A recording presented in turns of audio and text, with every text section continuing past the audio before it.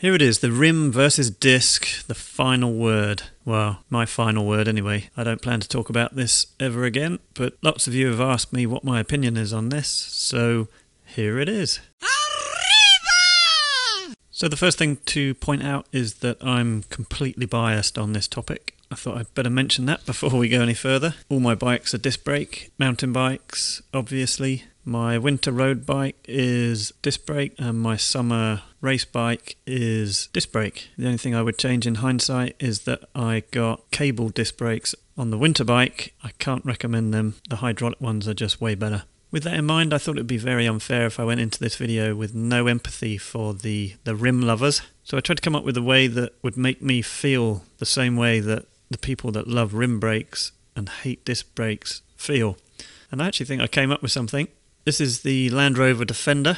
It's been around for a very long time. I think this one's from 1979. And it never really changed all the way up to when they stopped making it. And I've driven a few of these around, and there's nothing quite like it. They're not really very comfortable. They bounce you around all over the place. They're really hard to get around corners, but there's just something about them that makes you feel cool, and they look pretty cool. So it was to my horror when I realized that I think it was in 2018, Land Rover stopped making these because they can't get through the safety tests anymore, and they released the new version. Ta da! I can't even bear to look at this. That to me is not a Land Rover Defender. It's tantamount to Rage Against the Machine doing a duet with Boris Johnson to a Rod Stewart track. It really shouldn't be allowed. So when think about that, that really does, I think, give me an insight into how people feel about disc brakes turning up and wrecking their rim brake happiness. I was at Glastonbury in 1994 where Rage Against the Machine headlined and to this day that was still the best gig I've ever been to. Anyway, moving on. In a nutshell, it's over. The war is won.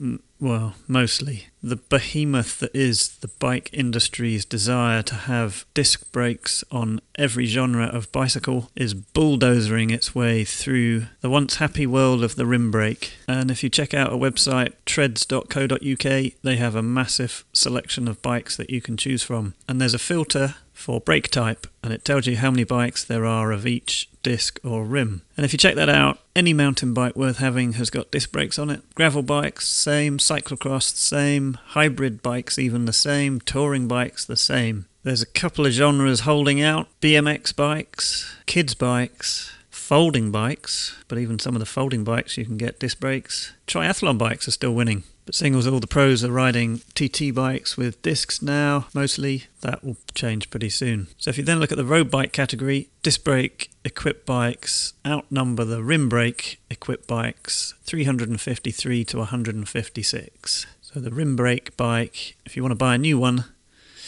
it's a dying breed. Buy it now. The last bastion of hope for the rim brake bike was the Pro Peloton, who have put up a gallant fight against switching over to discs, but the change from 2019 to 2020 has been quite dramatic. Loads of the early season races have been won on disc brake bikes, but what has become very apparent is not just sprint stages, not just flat stages, but if we take the Vuelta Andalucia stage one, pretty high finish. It was a good race actually. Was won by Jakob Fuglsang on a disc equipped Wilier. And if you look at the full list of results from that, I guess it was a mountain, mountain top finish. Obviously, disc first, disc, disc, disc, disc, disc, disc, rim, disc. Think that's probably a disc. Can't guarantee that. I'd have to check that. Disc, disc, disc, disc, disc.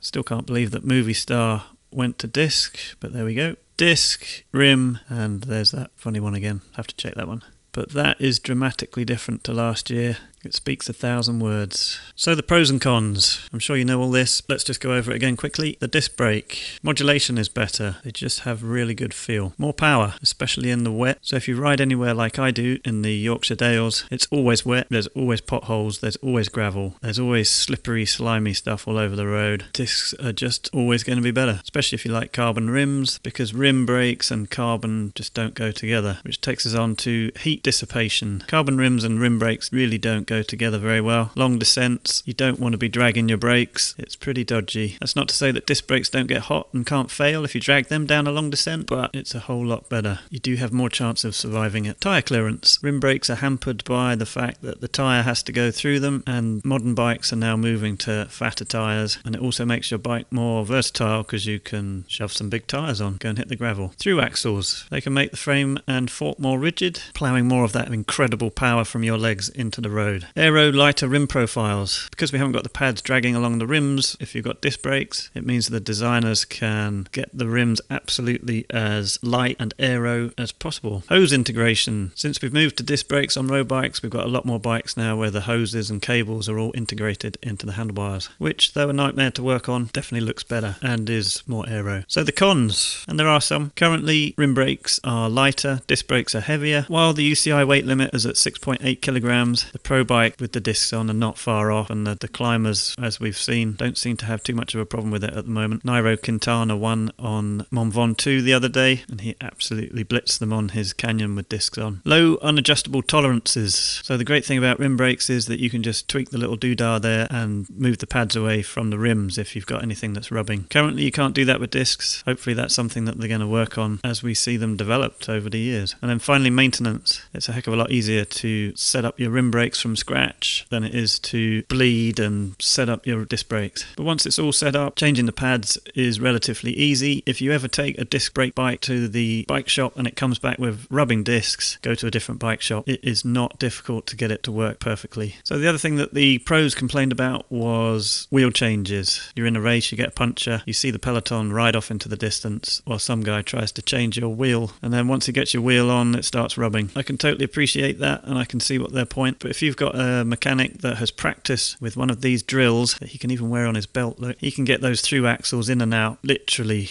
a second longer it'll take than a quick release. And I watch a lot of racing and I've seen a lot of rim bike wheel changes that are just as slow as disc changes. So that's all going to get better as well. So what about looks?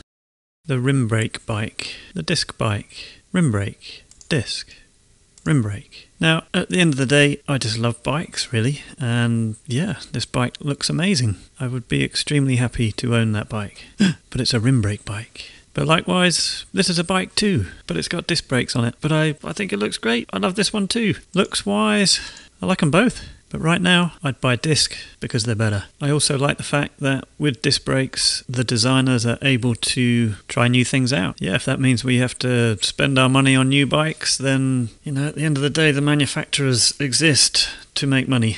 They're not really there to be our buddies, are they? And I like the way it's going. I think bikes are looking pretty cool. However, at the end of the day, there is one final word, or should I say two words, and that's Grand Tour. And until a disc bike wins a Grand Tour, Tour de France, Giro d'Italia, Vuelta a España, then the fight's still on. And as I make this video right now, there is some concern that the Giro d'Italia will be cancelled due to the coronavirus, along with Milan San Remo. I really, really hope that's not the case and that they manage to go ahead because I'd be absolutely devastated. So there we go. I'm also supposed to be flying to Tenerife on Sunday for a training camp, and currently there's something like 700 holiday makers locked in a hotel in quarantine. So it's all a bit of a worry. Anyway, hopefully, if you're watching this a few months on from when I've made it, it'll have all sorted itself out and everything will be back to normal and we can get racing again. Fingers crossed. So I'm sure that uh, people are going to have some pretty strong opinions of rim versus disc. So leave them in the comments down below. Try and keep it polite, otherwise I'd delete you from the channel anyway. So if you like this video, give it a thumbs up, and if you haven't already, please subscribe to my channel.